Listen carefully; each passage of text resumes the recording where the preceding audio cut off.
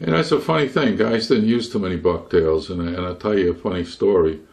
Um, the night after Bob Rance caught his 58 pound bass under the light, Bob had gone home and Al Reese stayed, and we had fished at Shagwong the following night.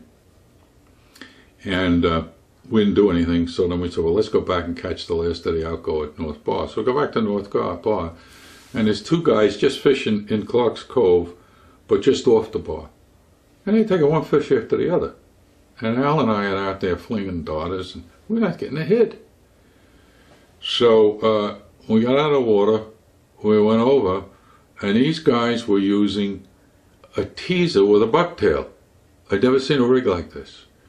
And these guys were from New Jersey. We got to talking with them. They say, oh yeah, we use these down here a lot. But in those days, um, most of the Montauk crowd, uh, as far as I know, didn't use bucktails. Maybe on the sand beach, some of the guys might use it, but they, they just didn't use bucktails.